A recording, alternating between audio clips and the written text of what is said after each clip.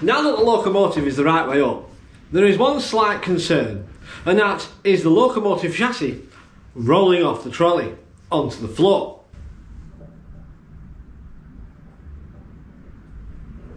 So I think the next thing we work on is the brakes. Yes.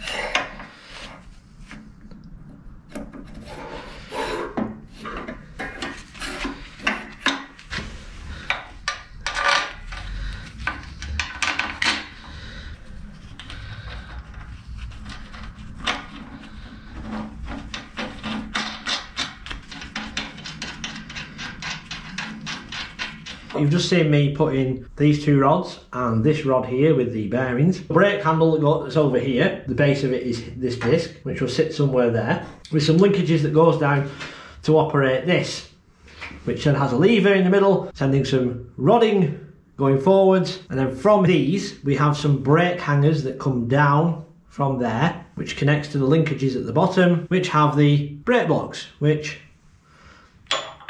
hang off the hanger. Now to stop the brake hangers moving around on this rod, uh, I got these, can be clamped into place to keep the brake hanger from moving too far. The brake hanger is just a piece of flat bar, so I'm going to make a boss that goes between here, which is a loose fit, because it doesn't need to be bushed, it doesn't need to be tight, because it needs to be out of plane, it needs to swing a little as well.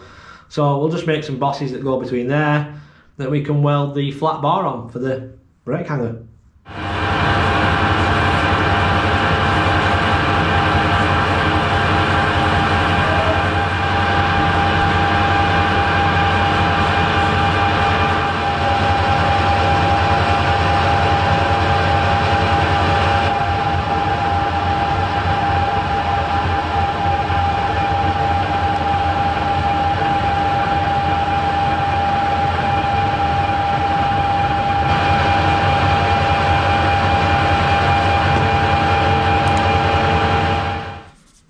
Nice.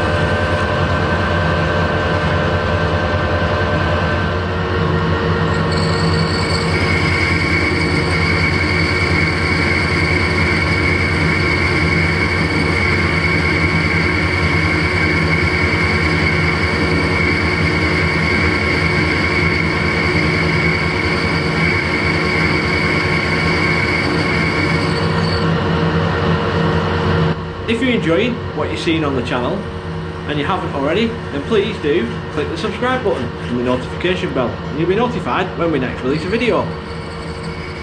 And don't forget to uh, hit the like button and that will help it share to like-minded people with exceedingly good taste just like yourselves.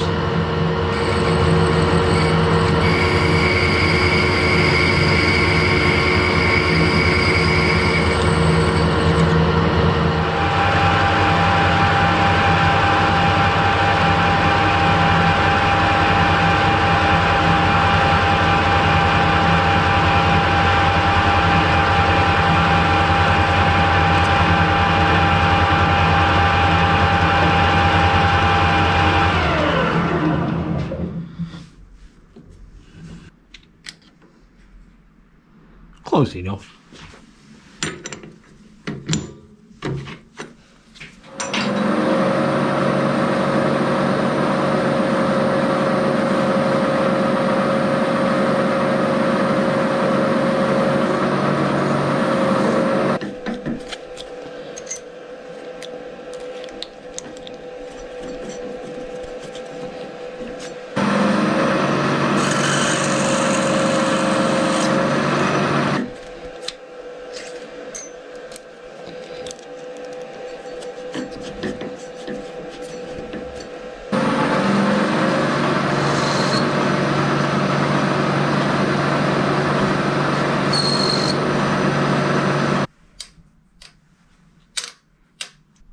These are going to get welded onto the flat bar that goes down for the brake hanger. And uh, I've just put a little hole in the top, just so that every now and again we can squirt a little bit of oil in. Quite a good fit. There's still a bit, there's a nice bit of play in it. So if we get a hole in, we can squirt a bit of oil in. So when it's moving, it doesn't sort of rust. It doesn't need any type of bearing for the job it's doing, which is basically a handbrake.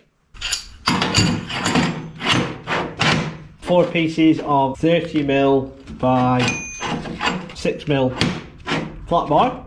These will be the drop hanger. Uh, and then what we're going to do is I need to machine out the end so we can weld the boss on there and then part way down we need a hole for the brake block to go in there and then it needs a hole down here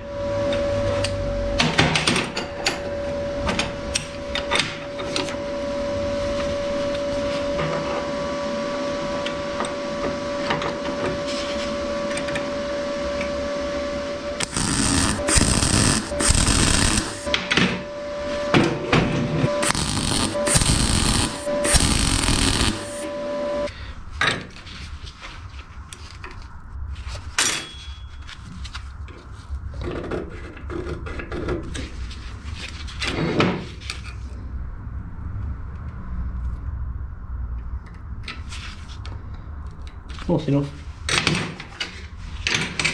Then what we'll do is we'll get it right close to the end.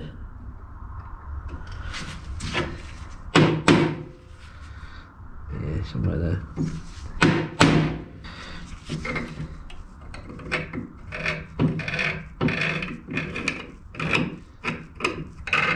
So what we'll do is we'll cut the majority of it out with the grinder.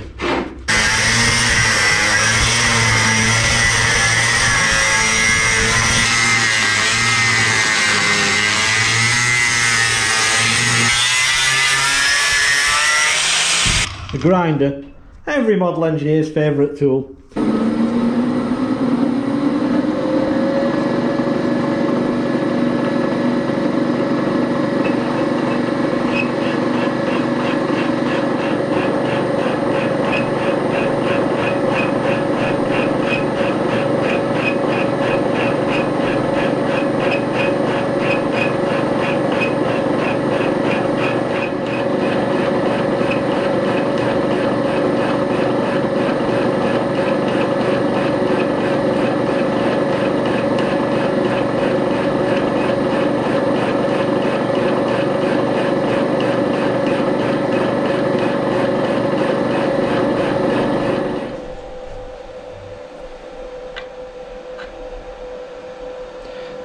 Us.